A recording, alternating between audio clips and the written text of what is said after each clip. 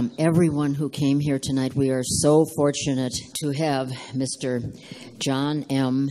LaForge, who's part of Nukewatch, and I encourage all of you to join Nukewatch. So, anyway, welcome everyone. We're very fortunate that tonight we have one of the uh, main representatives of Nukewatch, which is such a good organization, and encourage all of us to join and get their newsletter. Just going to tell you a little bit about the evening.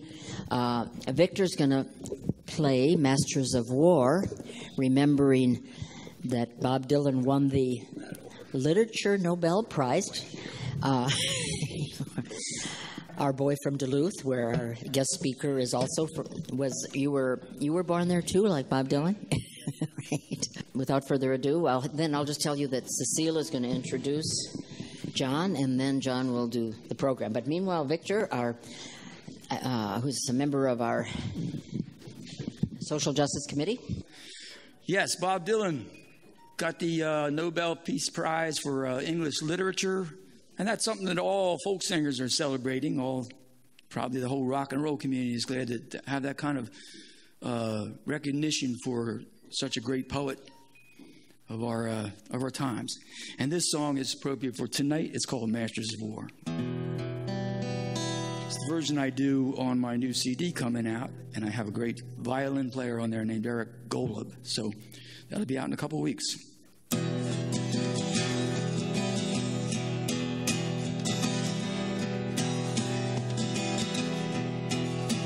Come, ye masters of war you that build all the guns. You that build the death planes. You that build all the bombs.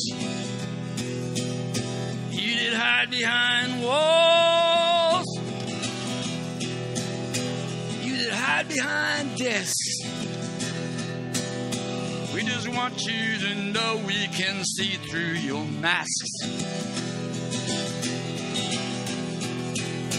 you'd have never done nothing but build to destroy.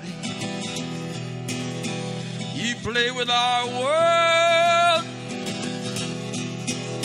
like it's your little toy. You put a gun in my head and you hide from my eyes. Then you turn and run farther when the fast bullets fly. Like Judas of old. Lie and deceive. The world war can be won. You want me to believe, but I see through your eyes and I see through your brain. Like I see through the water that runs down the drain. Fasten the triggers for the others to fire. And just sit back and watch as the death count gets higher. You hide in your mansion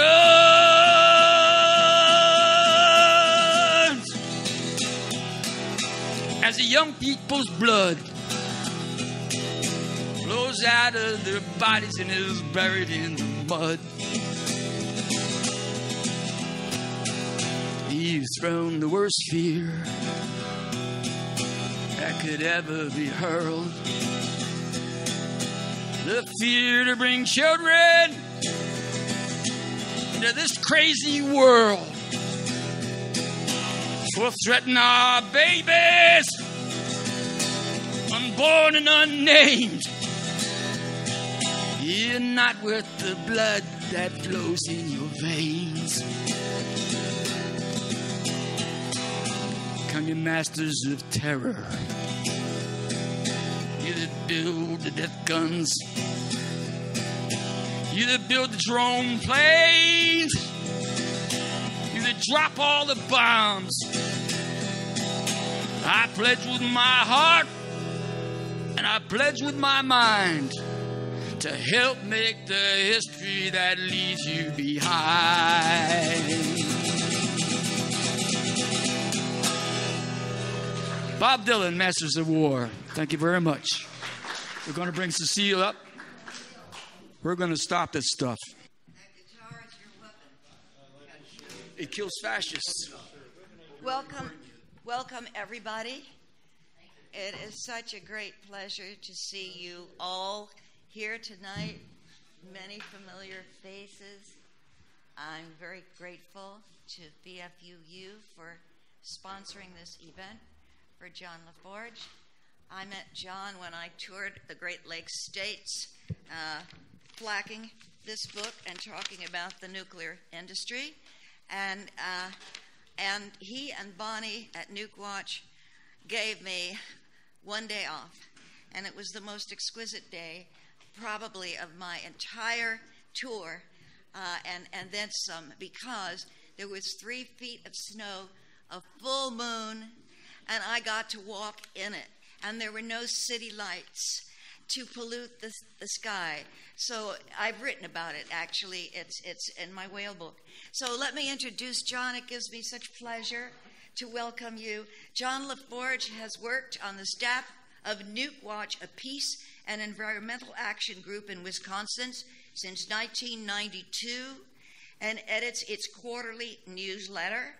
John is a regular contributor to Counterpunch and Peace Voice, and his articles on nuclear power and weapons and militarism have appeared in The Ecologist, New Internationalist, the Minneapolis Star Tribune, the Miami Herald, and elsewhere. Much of the public, that's us, mistakenly believes that U.S. nuclear weapons went away after the collapse of the USSR and the Cold War.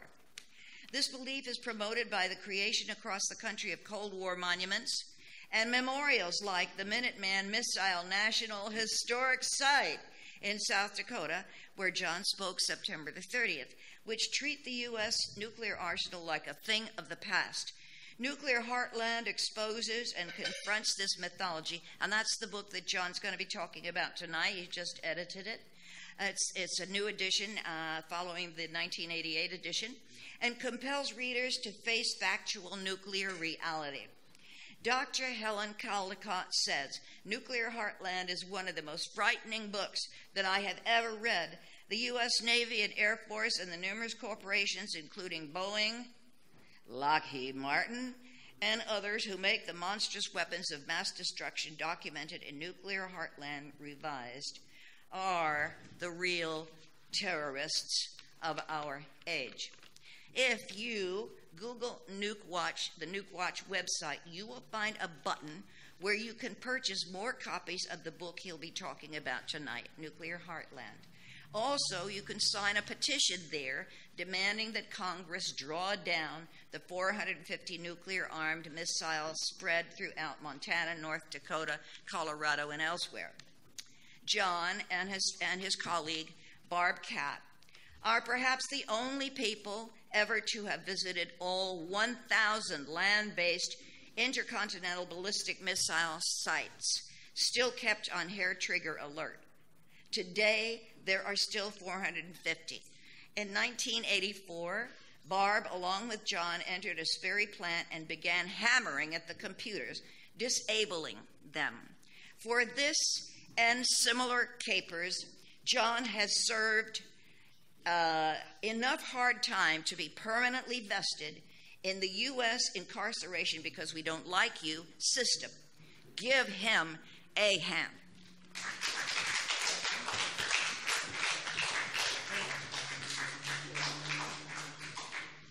Thanks very much, Cecile, and thanks everybody for coming out tonight. I want to make a short announcement before I launch into my uh, talk on the book. Um, uh, accompanied on this tour with my friend Marion Küpker from Germany, who's uh, part of an international campaign to permanently remove U.S. nuclear weapons from Germany.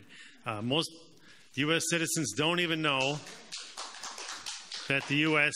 is the only country in the world that deploys its nuclear weapons in other states. We have about 180 so called B 61 gravity bombs in five NATO partners in Europe Italy, Turkey, Belgium, the Netherlands, and Germany.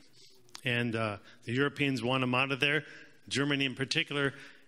And uh, Marion and her group have fought for 20 years to have them removed from the Büchel Air Force Base, where German fighter pilots train on their Tornado jets to deliver these nuclear weapons upon the order of the U.S. President and the NATO command. And now, with these the saber rattling and the craziness going on in Syria between the U.S. and Russia, these weapons are more destabilizing and dangerous than ever. There's between 50 and 90 at the Incirlik Air Base in Turkey, which you may recall was the headquarters of the failed coup back in July. The entire chain of command at that base has been placed under arrest, and U.S. has 50, at least 50 of these Cold War era gravity bombs there. 20 in Germany, maybe 80 in Italy. They're spread around. Well, they need to come home. Marion has a declaration of solidarity with the German movement to get those weapons returned. So please uh, take the time to sign this declaration of solidarity before you leave tonight. As Cecile pointed out, uh, I think Barb Katt, my former partner, and I are the only people to have visited all 1,000 land based silos when there were 1,000.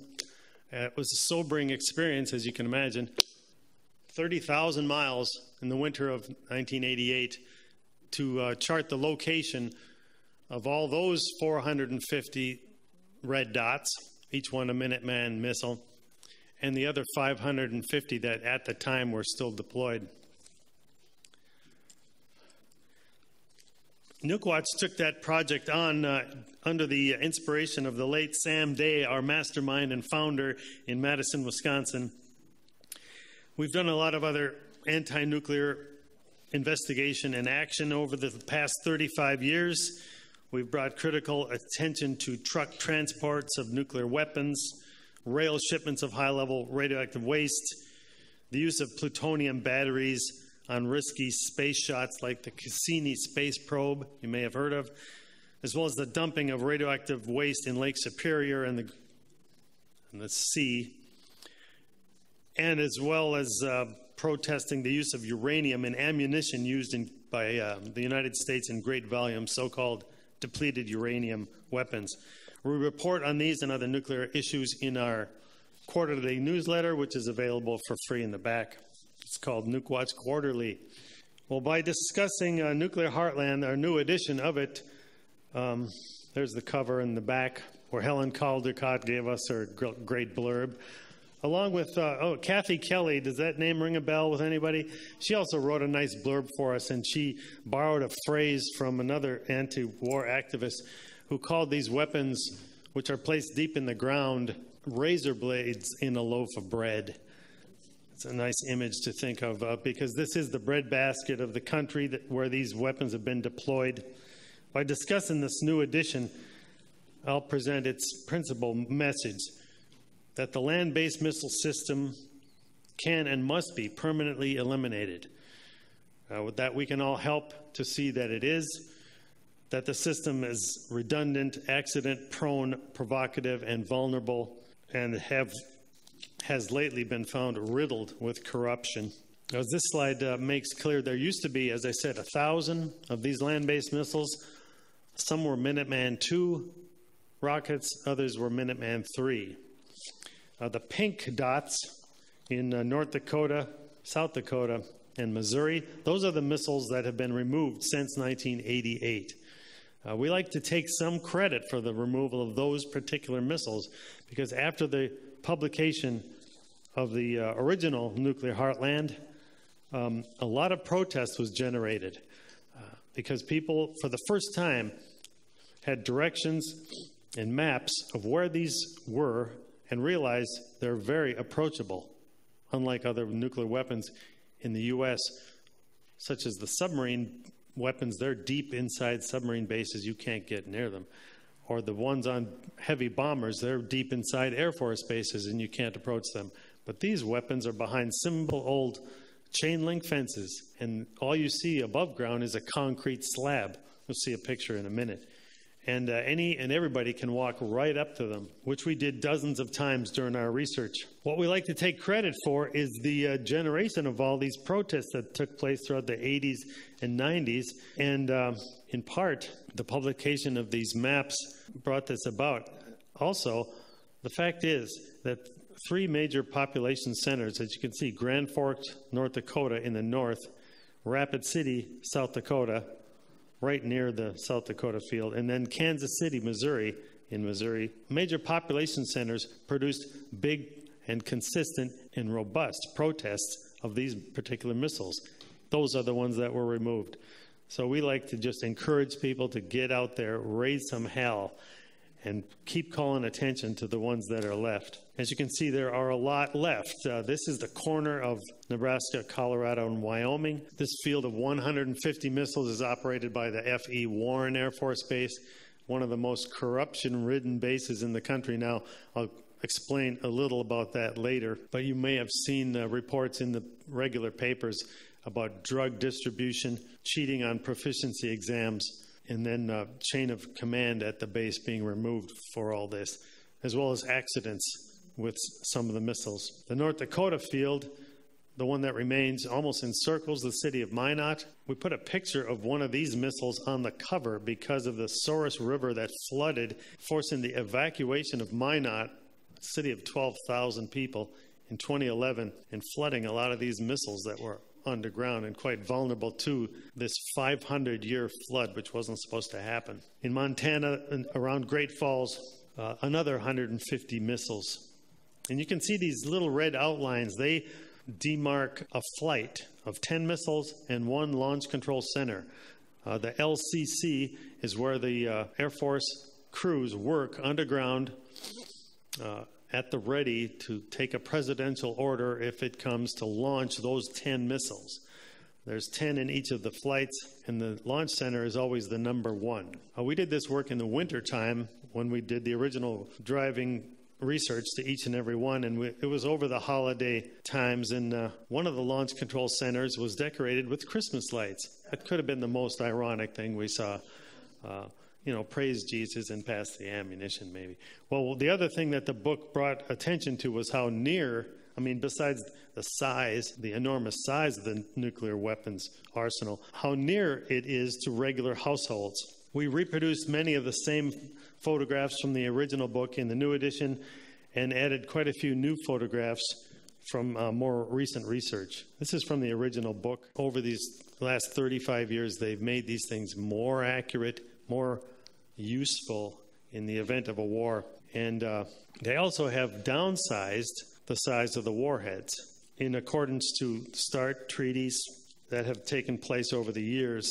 But uh, the so called downsizing of the weapons is a little bit deceptive.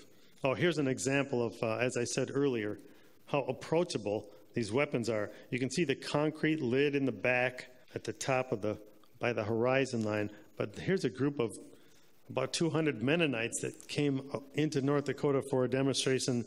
Uh, Nukewatch and other groups organized uh, enough people to entirely encircle this missile that afternoon, something that was quite alarming to the Air Force. Not because we posed any danger to this 100 ton concrete lid over the missile, but because it's bad PR. And it proves again and again that these things can't foil even the simplest approach, much less Soviet saboteurs which supposedly the fences are designed to foil. This missile silo was left wide open all weekend, unattended, in 1988. Sunday afternoon, Barb and I found this and took these photographs. You know, any anybody with a bucket of concrete or some super glue or a truckload of gravel, to say nothing of an improvised explosive device, say, could completely destroy this launch site. Again, uh, proving this, there was no Soviet threat. That was hyped worse then than the terrorist threat is today, I would say. Again, uh, the fences are easy to climb. Nowadays, you'd call this uh, taking a selfie. Uh, we did this over and over again. That's Barb and me back in 1988. Well, what I was saying about the Minuteman II um, is significant. The Minuteman II had a single warhead, but it was enormous. It was a million 200,000 tons of TNT equivalent, 1.2 megatons of explosive power. It's actually rather hard to conceive of a comparison. But one of the interpreters at the Minuteman Missile National Historic Site told me he'd done a little math on his own. And when he takes tours, tour groups through this site now, he tells them, he says, 1.2 million tons of TNT would fill up a train car, a coal train, that's 350 miles long. I think that, that was the best analogy I've seen for a long time. It's a grabby figure gives you an idea of how much explosive power that is. Normally, you see a coal train that's one mile long. It takes a long time for it to go by your street. So, those giant warheads were replaced with much more reasonable and moderate warheads. These three per missile were 300 or are 335 kilotons. So you still end up with a megaton of power. It's just divided by three, and each warhead can go to a different city or military base or missile site. It's called independently targeted reentry vehicles. Don't call it a massacre at, at all costs. So these 335 kiloton warheads are roughly 20 times the size of the Hiroshima bomb. That bomb destroyed seven square miles and turned 140,000 people to powder and ash. By comparison, then, back in 1988, the thousand missiles that the U.S. had with their monstrous warheads could have killed, all else being equal, 7.5 billion people and flattened 100,000 square miles. Uh, today's more reasonable and moderate and measured small war- nuclear warheads, as I said, are 335 kilotons. They can individually, all else being equal, kill 2.8 million people and destroy 51 square miles. That's roughly the size and population of the city of Chicago. Chicago has 2.6 million. Well, people who've considered these weapons, like you all in this room, over the course of a lifetime, I don't think you need to be reminded that all they can produce if they're used in warfare is a massacre. Uh, the people then who work on these weapons and maintain them and keep them shiny and polished, like this engineer from Boeing, they have to uh, deny what they're doing during the day or else couch it in certain psychological terms that pr- provide them the uh, ease and comfort to continue working on them. Uh, psychologist and the Yale professor Robert Lifton called it psychic numbing. Uh, I, I, like to call it optimistic myth making, uh, in which nuclear weapons are imbued with a power and an influence that they don't really have. They're thought to be imbued with an ethical value, and a practical purpose, which is mythological. But it allows these weapons workers to continue preparing for deliberate, indiscriminate destruction that is actually uncontrollable, unthinkable, and unlawful. Well, this myth making was on full display at a ceremony presided over by Colonel Edward Rausch in North Dakota in June of 1998. They said goodbye to the last Minuteman II missile uh, after having maintained them for 34 years. Where, and the colonel said ICBM stood for this period of time as a deterrent to any adversary in the world that might consider challenging the peace and freedom that we enjoy. Though this deterrence claim is common knowledge, say, in the school system and the culture at large, it ignores and denies hundreds of attacks on our wartime so called peace and freedom to name a few, attacks that could not and couldn't ever have been deterred by nuclear weapons or these missiles in particular. The 1970 hijacking of the Eastern Airlines flight, the 1979 Iran hostage crisis, the 1983 Marine barracks bombing in Beirut, the 1993 bombing of the World Trade Center. People might remember that the subway system was bombed then uh, under the WTC, the 1995 Oklahoma City bombing, the 2000 bombing of the USS Cole, of course, the official version of 9 11, the Boston Marathon bombing, and dozens of other terrorist attacks that prove that these weapons don't deter attacks on us. So called nuclear deterrence is repeatedly debunked by these attacks, but it's still the official public rationale for our nuclear weapons. Deterrence, as such, is easily debunked and firmly believed in. The situation recalls Mark Twain's dictum. He said, It ain't what you don't know that gets you into trouble, it's what you know for sure that just ain't so. Well, another principal myth of the nuclear age was repeated by Colonel Rausch at the goodbye ceremony. He said, Because of the ever present missiles on alert, we won the Cold War. But no one won the Cold War, I would argue, and there were thousands of losers and even fatalities in our own country. Up until 1995, according to the researcher Stephen Schwartz, uh, Schwartz who published a massive study of the subject, he said $4 trillion was spent on nuclear weapons since the end of World War II. Today, that number can be roughly doubled, 8 billion over the last 70 years. The United States spent this to produce 27,000 nuclear warheads, most of which have now been eliminated.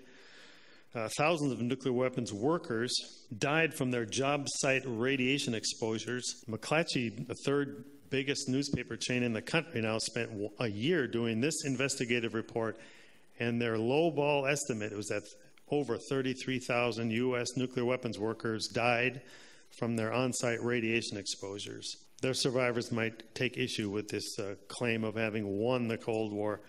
Another group of survivors who might take issue with the allegation is this group of survivors of some 16,000 U.S. citizens who were used without their consent in human radiation experiments. These were made public in the 90s during the Clinton administration uh, with the help of a lot of prodding by researchers from New Mexico. If you want to see more about these particular experiments, the textbook is Plutonium Files. It's an excellent compendium of what was done here.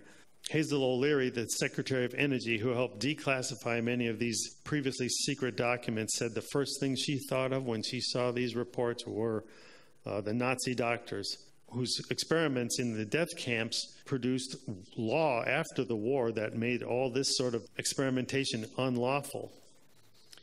And yet it was done by our own research scientists in universities and government hospitals. According to this 1997 report by the National Institutes of Health, radioactive fallout from our open air bomb tests gave thyroid cancer to as many as 75,000 U.S. citizens.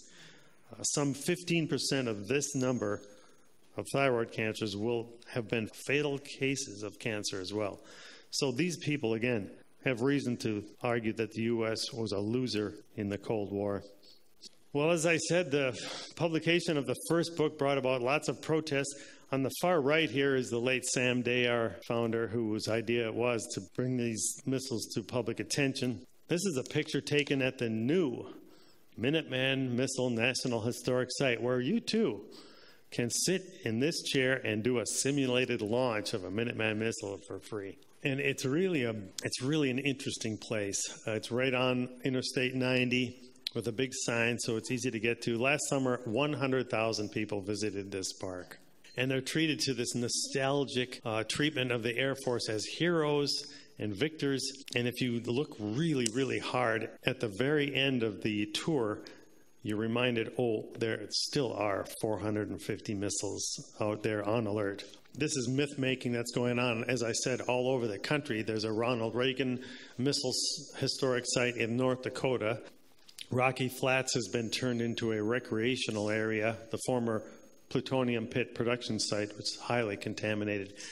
There are a dozen of these uh, historic sites outlined in the book where the government is trying to convince us that nuclear weapons are a thing of the past. I've got a few slides of some of the dozens of protests that have taken place in the missile fields, and the uh, Omaha based Strategic Air Command was also the target of a lot of protests because that's where the Joint Strategic Target Planning Staff does its work year round to choose the targets for the remaining nuclear warheads in the arsenal. They work in an office six stories underground underneath Offutt Air Force Base in Omaha there. And uh, hundreds of people have protested at this base and at the silos and have served dozens of years in incarcerated for the trespass convictions that inevitably result here. Sometimes, I shouldn't say inevitably, because sometimes things change.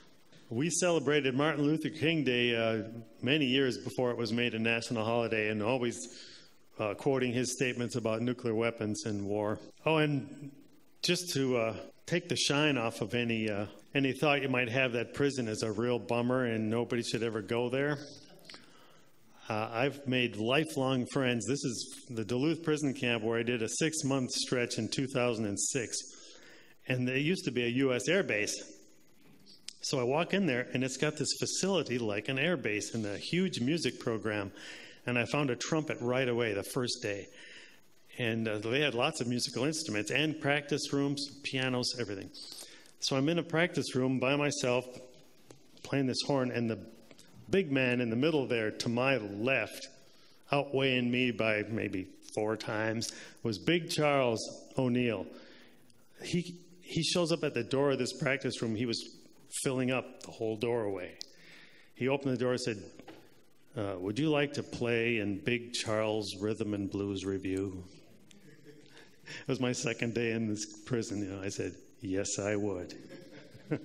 and we've, uh, we practiced every day for two hours, total escape. You know, you know, psychologically, it's like being in the studio. And we performed two concerts for the population. Just a wonderful experience. Most recently, um, this little incident was kept secret from the Pentagon higher ups uh, when they were out in this airbase investigating a drug scandal. They had a delegation from D.C. swooped on on Warren Air Base because there was allegations that some of the missileers were distributing ecstasy and amphetamines to one another. I mean, this is totally understandable in my lights because what could be more tedious, more boring, more monotonous than working underground on 12 hour shifts, three days at a time, with nothing to do 27 years after the Cold War ended, after the Soviet threat vanished? There's no, the New York Times series on this scandal reported that there's you know there's no career advancement in the missile fields. If you get assigned to that duty, it's like a dead end now. So these missileers are demoralized. They're bored. They need a little amphetamine to keep from falling asleep. When this high level delegation came out to investigate the drug scandal, this thing was being investigated. Uh, investigated. Uh, the missile indicated there was a problem. The Air Force people from Warren sent out a team. The team made the problem worse. They caused another mishap. According to the Air Force, it cost two million bucks to fix the damage. Uh, CBS embarrassed the Air Force here by reporting that at the time, the local Warren Air Base officers didn't inform the Pentagon that this was a problem and ongoing. So, this is a report on the drug scandal, which has now expanded to include 19 people from this air base reportedly coming up on charges for distributing drugs. Another scandal you might have heard about it because it was reported heavily in 2014 uh, was the cheating on proficiency exams. These are the practice drills that the missileers have to go through so that they know the order of events to launch this missile when the order comes.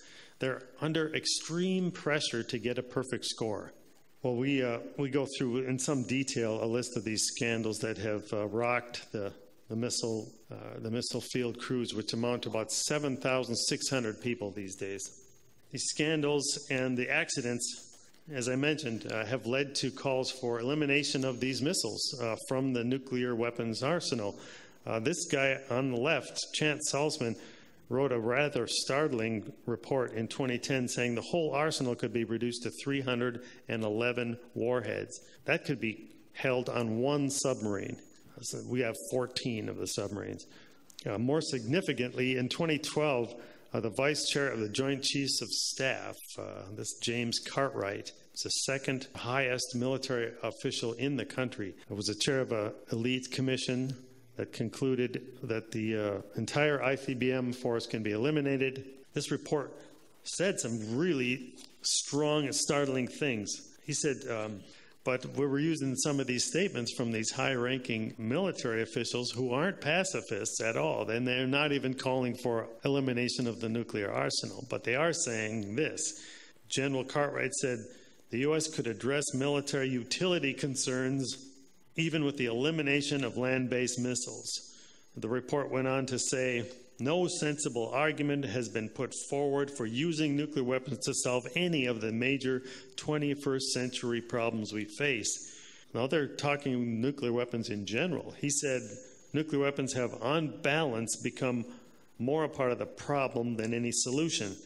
And then they got specific. In silos across the Midwest, land based missiles are highly vulnerable to enemy attack.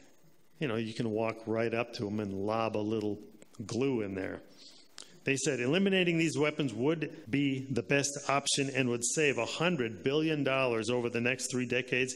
President Obama could begin the phase out before he left office. This is great news. Now, interestingly, uh, this report in 2012 was signed by then Senator Chuck Hagel, who went on to become Secretary of Defense. For a senator to call for this, you know, that was good. Not too risky at being a senator. But when he sat in front of the Senate Armed Services Committee for his confirmation hearings as Secretary of Defense, there's quite a few people on that committee who represent those states. They like that money coming in to their state, all the military contracts, all the jobs and the better roads that involve uh, maintaining these weapons. So they are fighting for these weapons, and they were grilling Mr. Hagel on his signing this report. But Hagel stuck to his position and uh, won his confirmation. He didn't back down in front of the committee.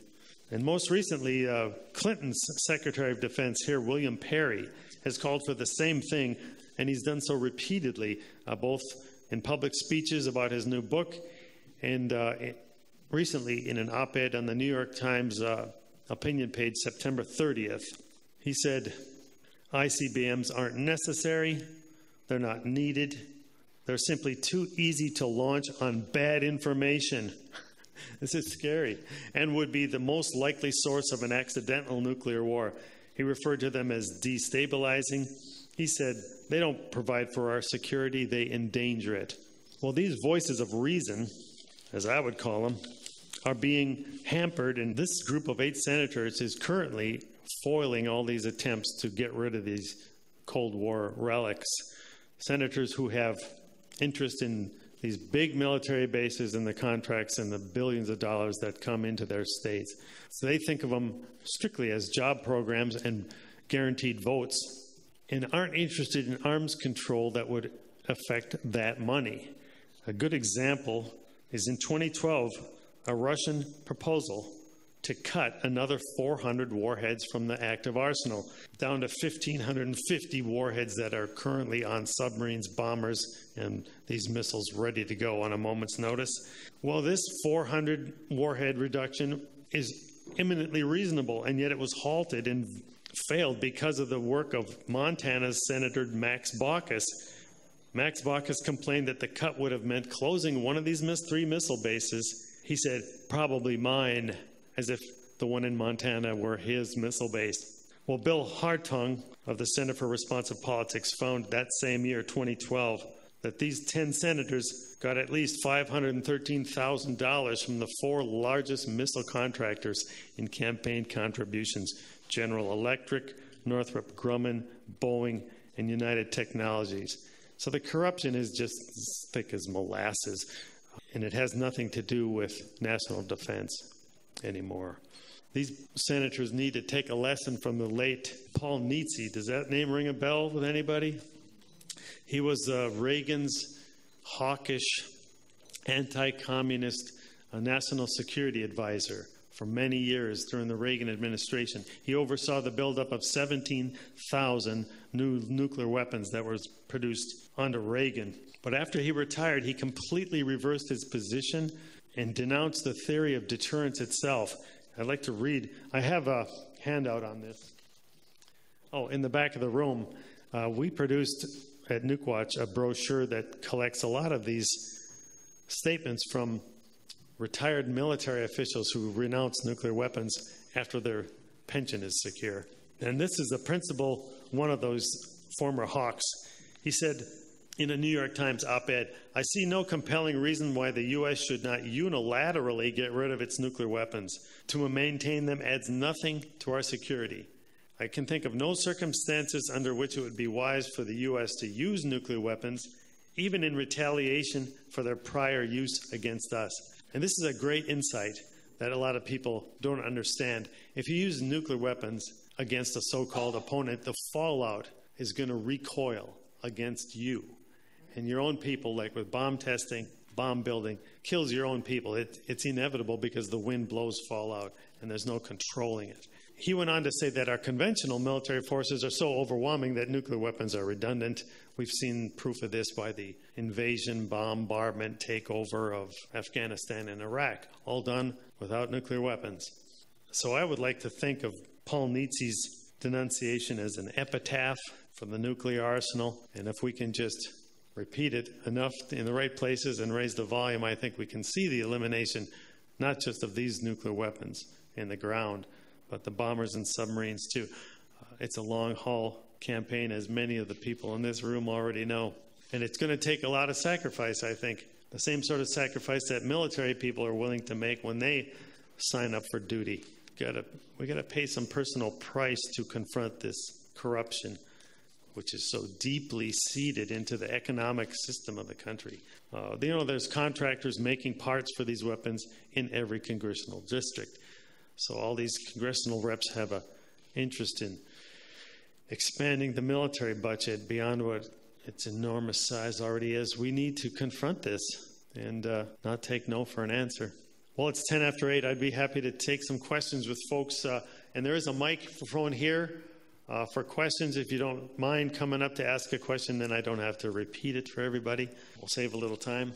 Yeah. Are, are, how familiar are, are you with the Trident system, submarines, and uh, are you familiar that we have a secret, massive base here in Mare Island where they repair melted down Trident submarines on a regular basis, just not far from here? Thanks for the question. Um, we've done a lot of research and reporting and direct action against the Trident submarine system. The two bases that I'm aware of are at Bangor, Washington on the west coast, and at Kings Bay, Georgia on the east coast. Uh, but of course, obviously, there are repair places. Oh, I didn't know about that at all. Uh, a repair site in San Francisco Bay?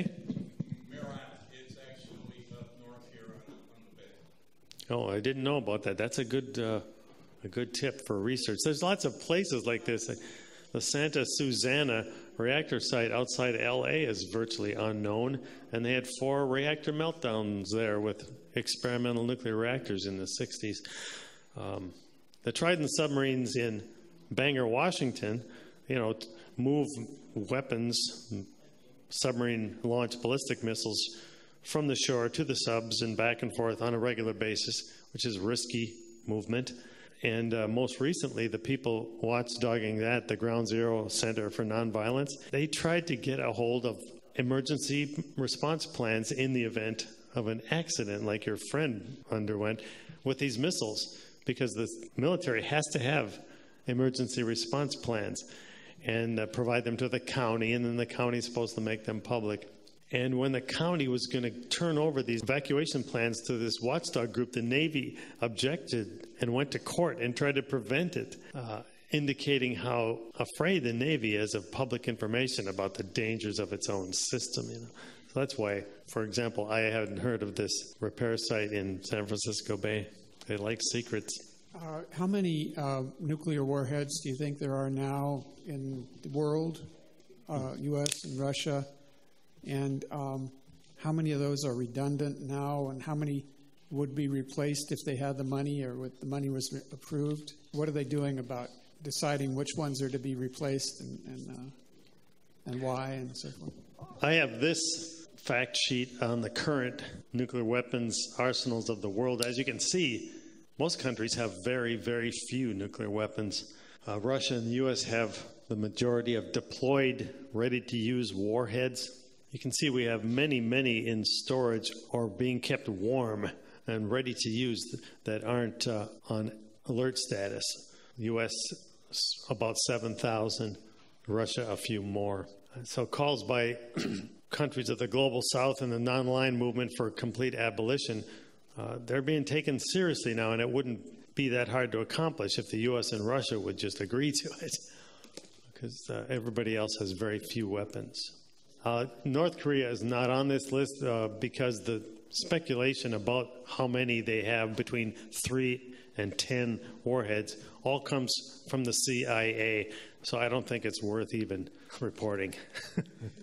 Yeah, John Pilger, the uh, famous uh, uh, documentary filmmaker, has been writing a lot lately about the arms race, and he's been speaking and saying that the that we're not being told what the budget for our arms are now, and that it's been majorly increased under the Obama administration. I'd like to know if you have any comment on that. Oh, yeah. John Pilger is reporting on this 2014 proposal by the Obama administration to completely rebuild the nuclear weapons infrastructure. A new plutonium production facility at Los Alamos, New Mexico, a new uranium uh, nuclear weapons jacket, is what they call it, or the secondary, at the Y 12 site in Oak Ridge, Tennessee, and then the non nuclear components being built at the Kansas City plant. And that plant's already been completely finished. And they're doing those non nuclear parts there, much to the consternation of the local peaceniks who tried to prevent that. Uh, yeah, the government of Obama wants to spend $300 billion every 10 years for 30 years rebuilding the infrastructure so that they can produce 80 new nuclear weapons warheads every year. Uh, this has not been approved yet by Congress. It'll bankrupt the country. It, we can't afford it, and it would mean hundreds of tons of new radioactive waste as well. So there's no reason by, why the people should roll over for that and let this happen.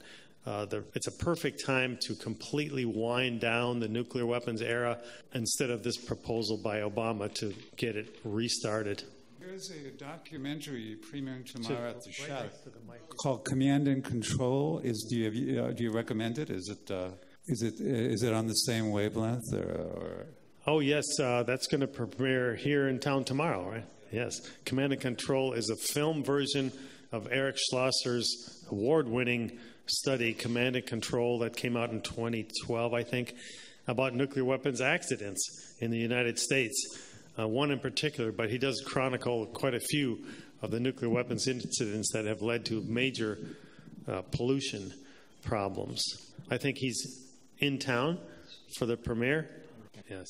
Uh, John, can you say something about the international situation uh, with the, the, ban on nuclear weapons? Yes, there is a terrific uh, international campaign to abolish nuclear weapons. You might have heard of ICAN ican.org. It's a relatively new campaign to uh, establish a treaty that, like the treaty ban on landmines or biological weapons, chemical weapons, it would ban the production, manufacture, possession, and use of nuclear weapons. And the campaign is having some great success at the United Nations. Uh, most recently, having won an agreement among the uh, the first committee at the UN to bring to the General Assembly a motion to, to have negotiations brought underway for negotiations in good faith to abolish nuclear weapons are what the Non-Proliferation Treaty obliges the U.S. to accomplish. Uh, we're a signatory principal signer to that treaty, along with a lot of the other nuclear weapons states and, of course, 150 states that don't have nuclear weapons. The uh, U.S. and the other nuclear powers are dragging their feet on this negotiation and trying to prevent it from going ahead. They think that their own uh, diplomatic efforts are good enough, but ICAN and the rest of the world uh, realize that you know, 60 years since the Non-Proliferation Treaty was signed, without any progress, indicates that there's no good faith uh, on the part of the nuclear powers to proceed with these negotiations. So they're pushing this on their own. And uh, so I encourage you to check out the website ican.org. Their information is really excellent. They have fine uh, video and uh, still information about the uh, campaign and how we can be part of it. I wonder whether uh, that was very publicized when I was in Iraq after shock and awe. It was horrendous the nuclear, uh, the, the, the, depleted uranium mm and the effect it had on the children. Mm-hmm. They were malformed, crippled. It, mm-hmm. it was not publicized here, but I went to the hospitals and I could not believe my eyes. And I think if we would eliminate nuclear weapons, or maybe all weapons, we would have free education, we would have free health care in this country, and we might even get educated. It's a very good point on depleted uranium. If you're not familiar with the phrase depleted uranium, the U.S. has about 700,000 tons of uranium 238 left over as waste from the manufacture of fuel for reactors and the cores for nuclear weapons. This waste is extremely hard and it's been found to penetrate armor, armor plate, better than anything else, better than tungsten, which was the previous uh, best metal for this. So the material is given away free to arms manufacturers who have been turning it into shells anti tank weapons and then smaller uh, 30 millimeter shells. And as the questioner said, uh, the U.S. used massive amounts of it in the 2001 war on Iraq. 360 metric tons were fired into southern Iraq. Another 170 tons in 2003. It was used in Panama City for the first time in 1998 when Bush Sr. bombed Panama City. But then in Kosovo, Afghanistan, the U.S. has been experimenting with this radioactive toxic weapon for decades now. And we have seen an enormous increase in childhood birth abnormalities in southern Iraq because when this material smashes through tank armor or armor plate, it turns to powder and dust, and then it can be spread on the wind hundreds of miles but it contaminates the soil, the water, vegetation basically forever. It's very difficult to clean up. Again, there's an international campaign to see this weapon banned by treaty. It's the International Campaign to Ban Uranium Weapons, ICBUW. They have a terrific website, and their campaign is also having some success at the UN to see uh, not just this weapon banned, like landmines, but to make sure that uh, countries like the US that have used it are held responsible for cleaning up the effects after a conflict is over, including dealing with the uh, terrible health effects in southern Iraq and elsewhere. Yeah, good evening.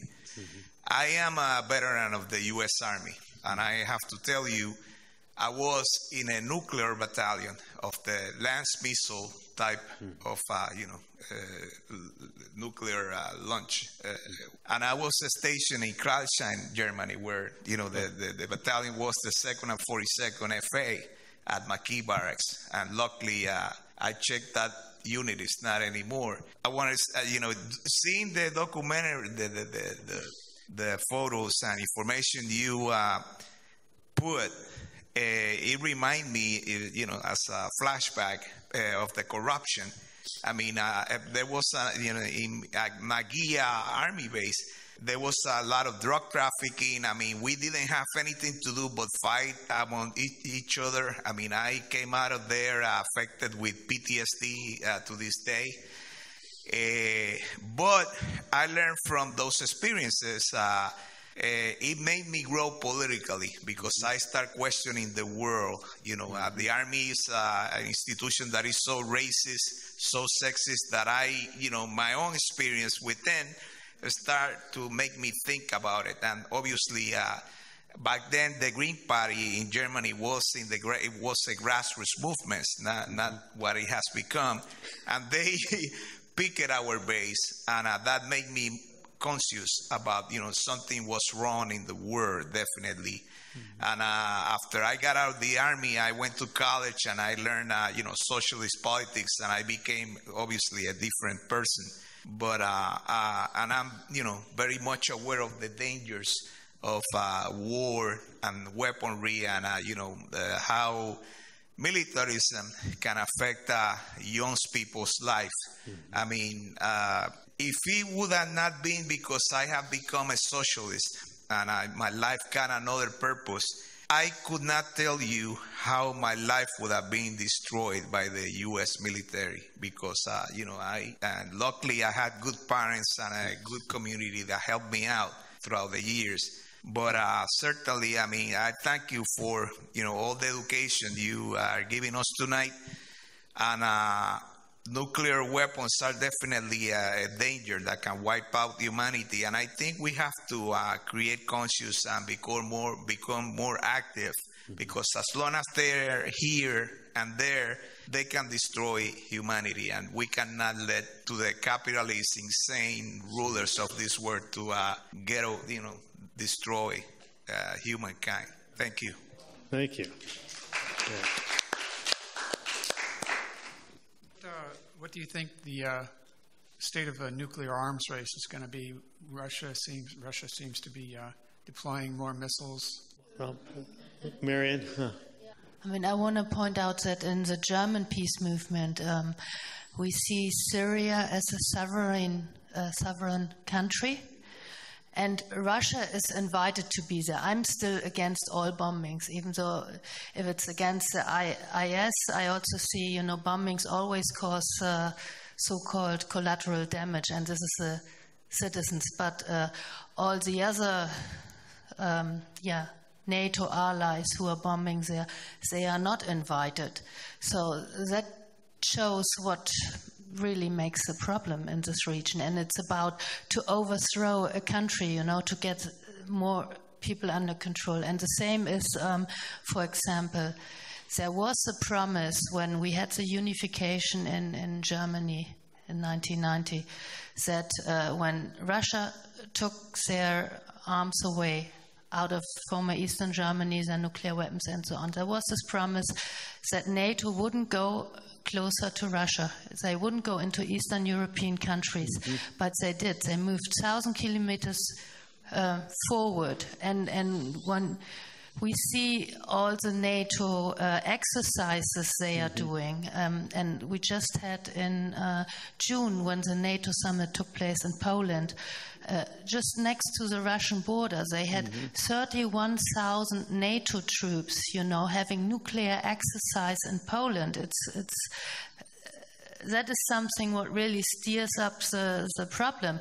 So, and for sure, all nuclear countries they modernize uh, their nuclear arms, but we know that after the Cold War, um, Russia was giving a strong signal that uh, they didn't want to go on with uh, nuclear arms and, and, others, and limited it down to four percent of what uh, NATO was doing. The top of NATO is the USA, really uh, expanded it. So and that's why a lot of in the peace movement they even ask for, you know, Germany has to leave NATO, not to be mm. part of this whole thing. Um, yeah, thank you. Good point. Well, I think we'll wrap this up, but we really want to thank John. Maybe you'll hang around for a little bit. Yeah, the Nukewatch uh, website is nukewatchinfo.org. We have a Facebook page as well. Thank you very much.